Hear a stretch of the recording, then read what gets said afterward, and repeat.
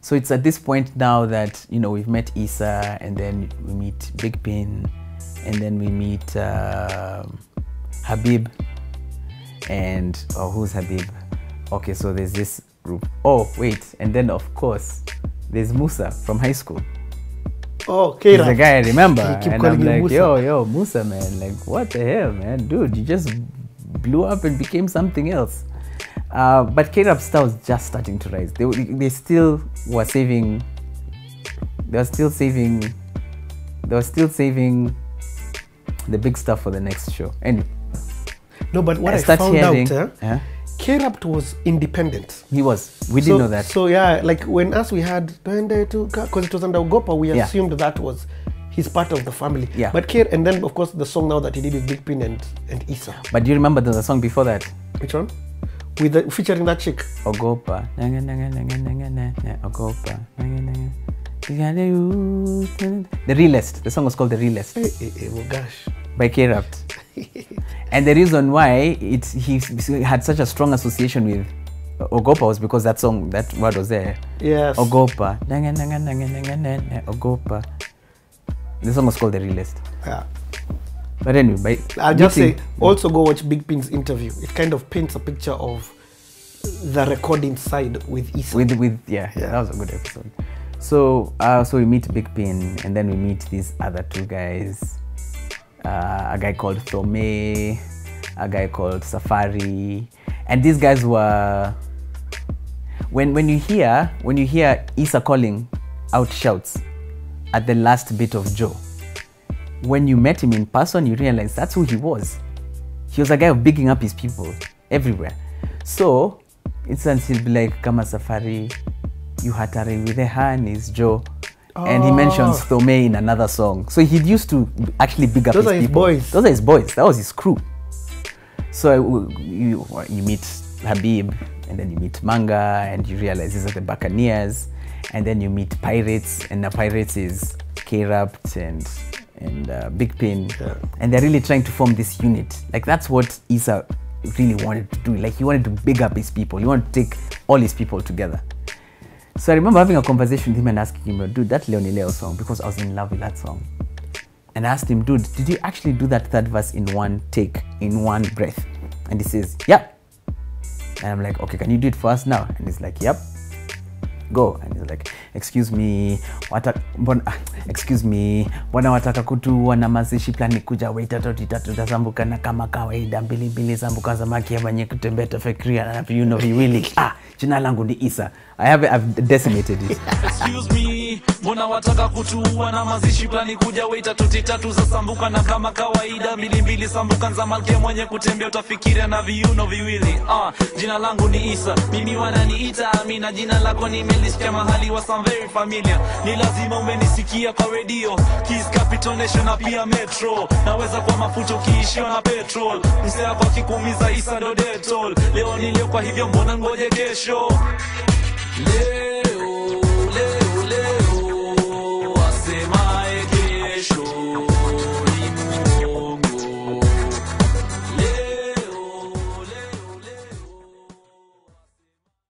but we're like dude you can actually do it like you are really a lyrical Genius. genius now the upside of that was every so often my sis would come home with a cd or yvonne would come home with a cd and it would have a lot of incomplete tracks Ah, yeah, demo yeah, tracks yeah. and they'd be like this is a new one from big pin big pin yank to the beat move to the beat but they were very raw. Yes. so they were never really I They- like yeah. "Ah, i don't know i don't know i don't know i don't know. And then we had that other song that now brought together these guys south C's finest bamba. Now this was the second time that i accompanied um, eric to an ogopa event because they had a whole new bunch of songs Yes. and we're like, what on earth is going on? Now, this one, the curtain raiser was this guy called K Rapt. He was one who performed. No, no, no. Actually, the first song was I, I, I'll never let you down. So K Rapt comes on and performs Twende Tukawake, and we are like, okay, this is a good song. People are responding a lot to the songs that they knew. Isa comes on and does his thing. Bigfoot comes on and does his thing. Now they come on and do their thing together. And we had that song and we were like this is madness now and it was again uh, again south C's finest humwaka ka kilo zangu matuta pamba isa and they're doing this and guys are going crazy and um Nani, what's his name? Uh, K-Raps was trying a Bonnie and Clyde. Remember that song, Bonnie and Shine? Bonnie and Shine. Yeah. Yeah. Yeah, yeah. So he was saying, and in between he was adli- ad-libbing with "Dibbidi-dibbidi-dibbidi, whoa, and we're like, what are you doing? This stuff sounds so cool.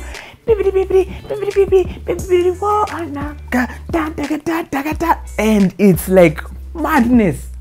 Um, these guys came on stage. I think Kleptomaniax managed to come up on stage this time, and then now all this music was just released. So between Ogopa 1 and 2, the music that we really associate with the Ogopa DJs, in those, all of this happened in the, about three months.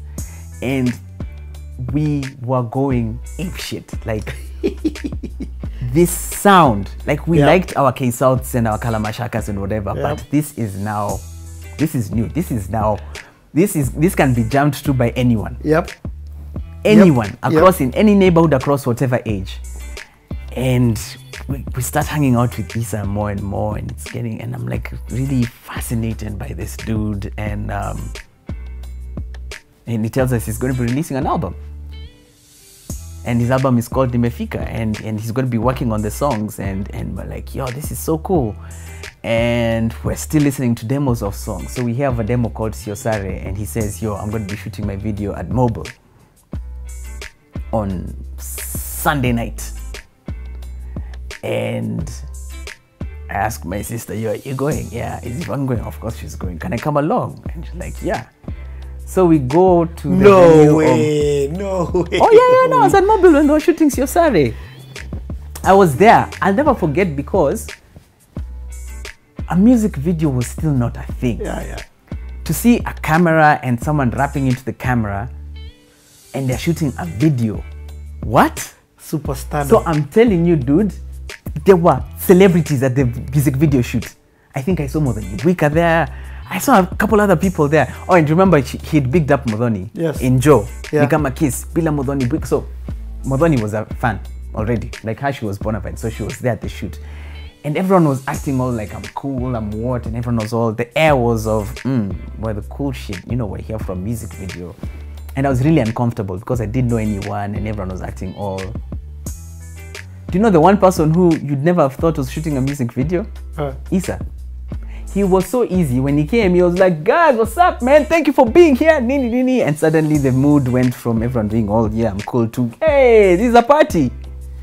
And the guys who were doing his video were called Orange something. I can't remember. But I remember the dudes. Like, anyway, there were there were guys there with their two cameras and they were using car lights for light. They didn't have their own lighting setup Yeah. and whatever. And all they were doing was shooting Issa as he was dancing, as he was arriving on the parking lot. And they had all these cars shining on him and cars shining lights behind him. And they filmed him just doing all these two dance styles. And then a few dance styles with so nameless. that is mobile mat. uh, it's the parking lot, the mobile of South C. Yes. Yeah. Oh, I didn't know The bit that. where you see with the cars Yes. and him doing those I two always thought it was the car park at in Westie. No, no, no. JK is that the place. Kumbe it, it Nah, wasn't. that was South C, dude. That was Bellevue. That was the mobile Bellevue.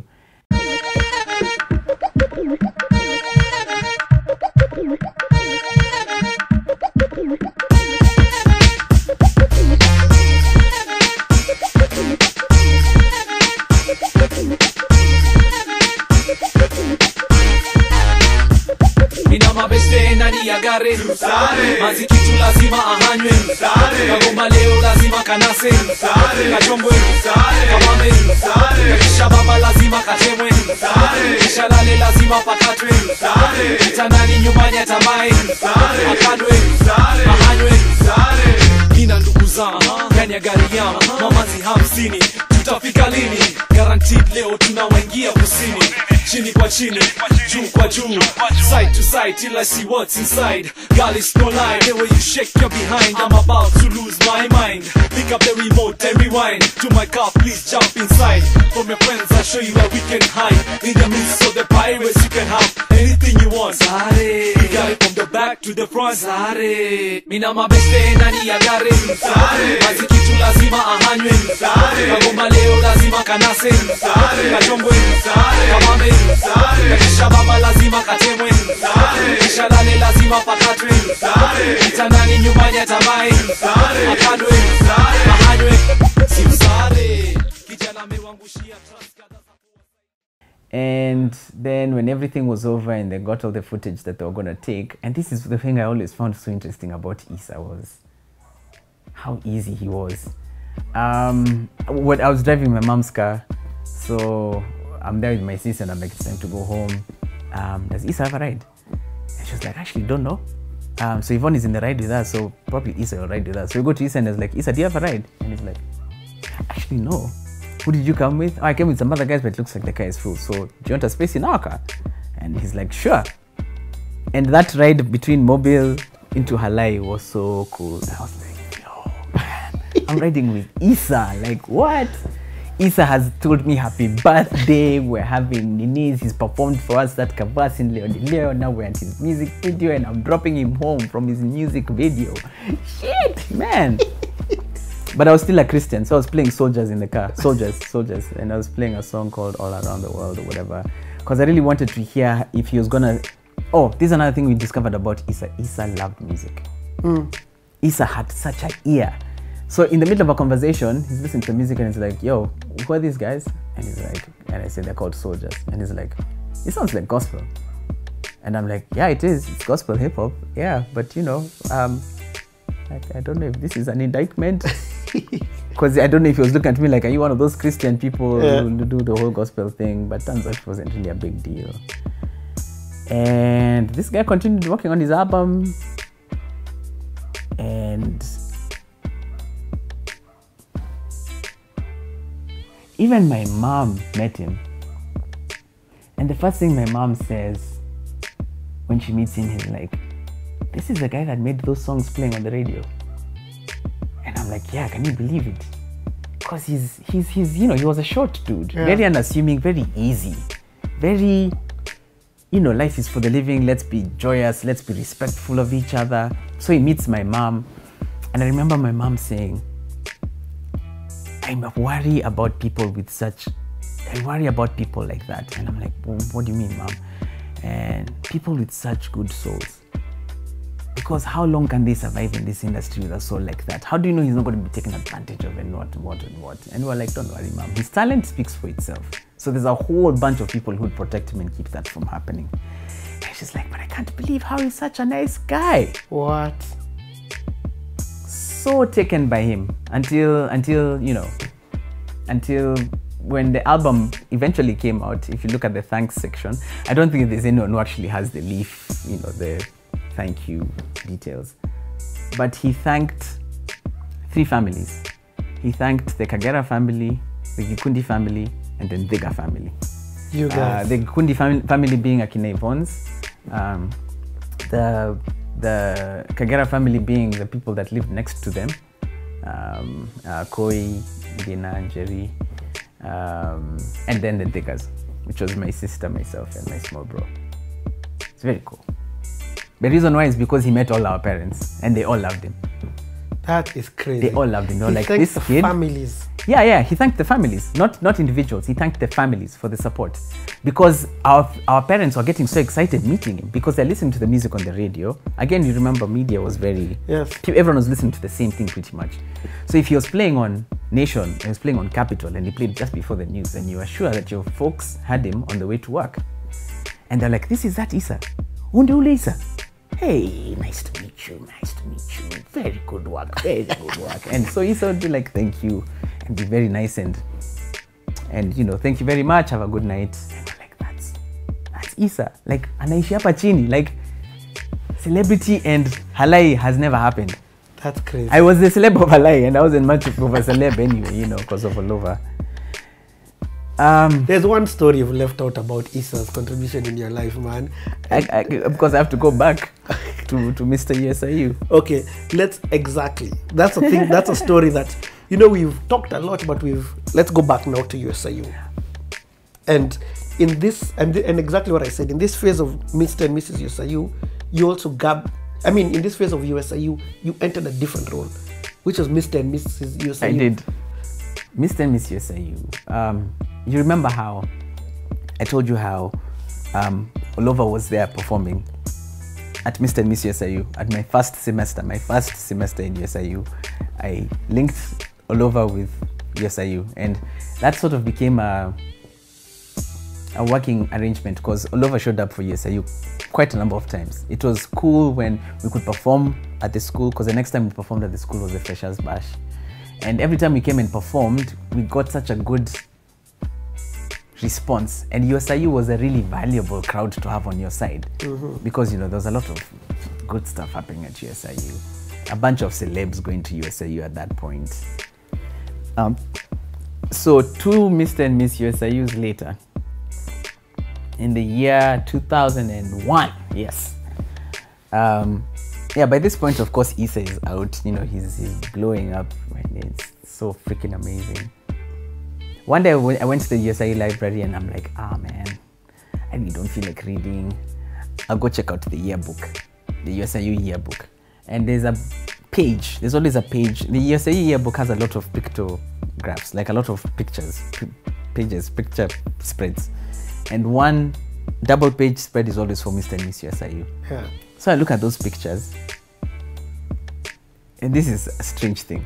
I had what I can only call a spiritual experience. I can't describe it any other way.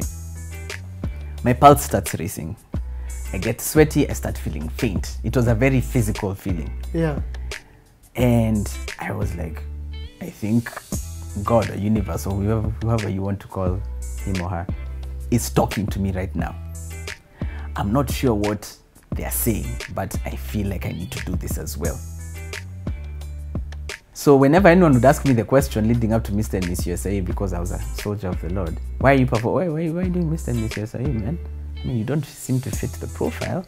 Yeah, you're a dancer and everything, but yeah, you're short dude, tiny dude, um, and there's tall, handsome dudes who would just win this in a drop of a hat. The guy who'd won before me was a muscular, popular dude who could sing really well. Why are you doing this? I'd say because God told me to. And then given a look of, okay, yeah, okay. But I was like, God told me to do this, and I'll do it.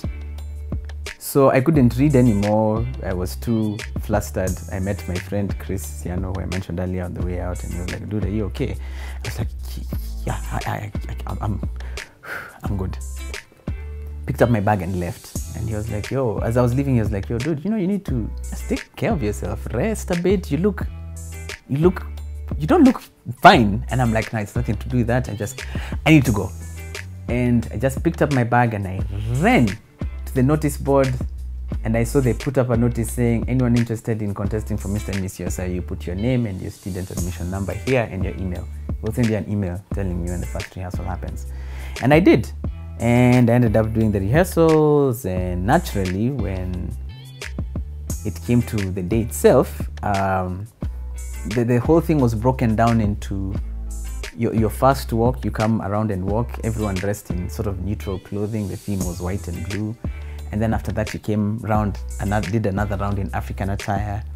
And then after that, you went into what was called the talent section. So everyone would show off a talent and you had a minute and a half because there were so many contestants. And then after that, you went into your evening wear section. And then after they did that, they would shortlist to the final 5 mm-hmm. boys and girls. And then you went into the Q&A that was supposed to sort of measure how smart you are. And then from there, they'd choose a winner. And this would go over the course of a Thursday evening.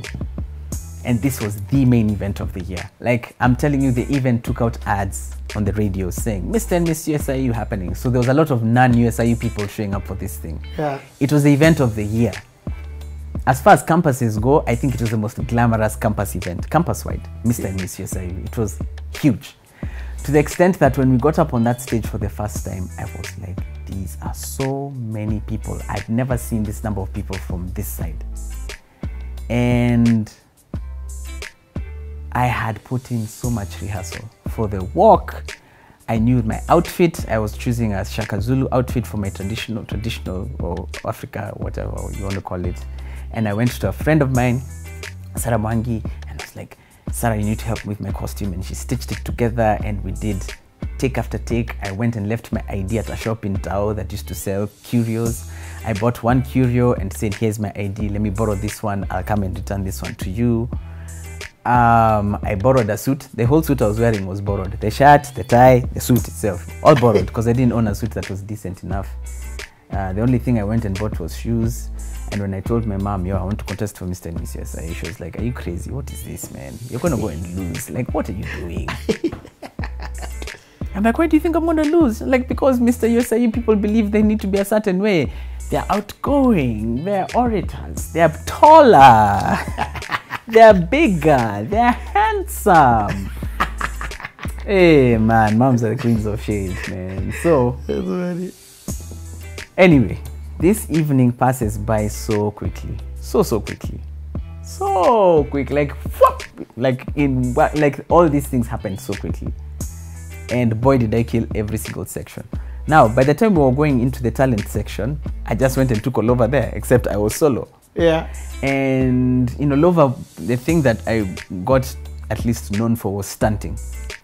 So a lot of breakdance moves, a lot of suicides where you jump in the air, do a somersault and land on your back, um, flips in the air, back flips, that thing. But Dude, you could do those things. Yeah, yeah, yeah. The worm, those things. Suicide is one people knew me for. Cause I'd, me and another member called Dan, we were like, yo, I think we can go, we can push this further, yeah? Maybe jump higher. Cool. So we do this thing where we jump even higher and turn ourselves and land, boom, flat on the stage. And whenever people would hear the sound of us landing on the stage, they'd be like, and then we'd get up and continue dancing. And because we're high on adrenaline, you're not feeling anything. Yeah. The pain would come way after.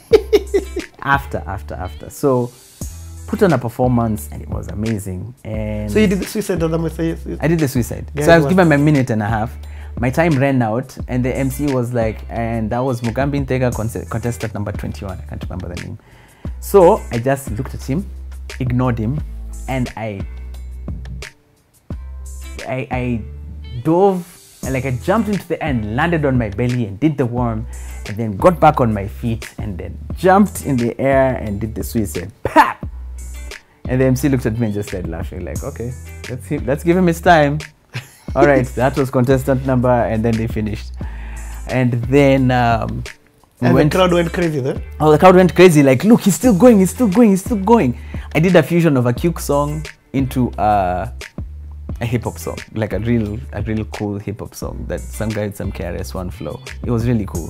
So what I did was went up dressed like a show dude and did these Cuke dances. I had like a waistcoat, a boshori, and a painted tooth and a scarf and just like really show like gumboots or some things and then when the song transitioned into this one i jumped off the stage changed quickly in front of ev- well i jumped into the center of the stage changed quickly and then got back up and started doing these hip-hop dances and guys went crazy. And then there was a q&a session afterwards which was also went pretty well. And then it came time to announce the winners. And they were like and now you're mr usiu 2001 mugambi nthiga and i what? All of olova was there. Olova was there to show me support completely. And we went crazy and we took all these pictures and i won all these prizes. It was freaking amazing. And i remember the other contestants looking at me like This dude won. because I was the most unassuming one during Yes. rea- unassuming. I was like seeing them doing, you know, rehearsal was time for people to wild out and be all, mm, mm, mm, I'm so cool. I've been Mr. M- Mr. USIU, but I was always the quietest one, you know, and I was always, you know, showing up, doing my thing, and leaving. It was only during the last rehearsal where people watched. Oh, so what are you guys doing for your talents? I did a little card choreographed thing, and I did the suicide thing, and soon people are like, okay, Okay. this is going going to be a bit crazy. Then on the Q and A bit went well, boom, suddenly I'm Mr. USIU, and all the tall guys who were supposed to look at me like, wow, it was so good. Kumbe it's possible for someone who no one knows to win this thing. Was pretty cool, man. What what what like what did you receive as Mr. USIU gift wise? Does the school give you? yeah, the school gives you a trophy. No, they It don't. They you- don't. They don't kill off your you- school fees. It gives you a bit of school fees off of your next quarter. Oh, nice. Um, and then you win a lot of sponsored prizes. So the sponsors were Nivea, I got a lot of Nivea yeah, stuff, Red Bull. And then the best thing is that you get, there's a lot of celebrities there. So they get to see you and then you can get a few interviews and stuff, that sort of thing. Mm-hmm. And then you can get a few, like you can get uh, the chance to be on ads, that sort of thing. Okay, That's what, it, yeah. So really, but the, most of all, it's Mr. USIU. It's the title. In school, Mr. and Miss USIU. It, it, it, so So did it like- constantly put like were you like from no okay no but you were a bit of a celeb because of Olova Yeah, but, but- did this put you now on the map crazy No, not really. Because you had to go back and now play it up.